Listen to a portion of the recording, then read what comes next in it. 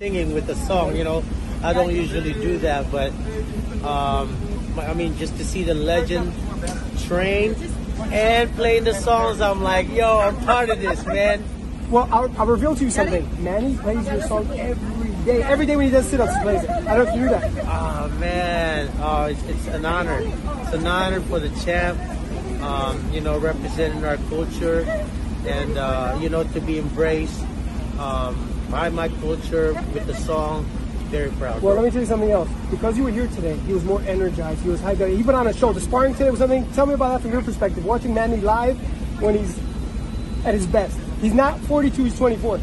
Oh man, Manny, he hasn't lost a step yet, man. He's still like so powerful when you when you hear those cracks.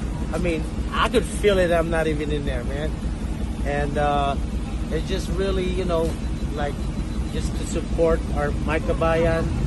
And, uh, you know, he's an inspiration to the whole country.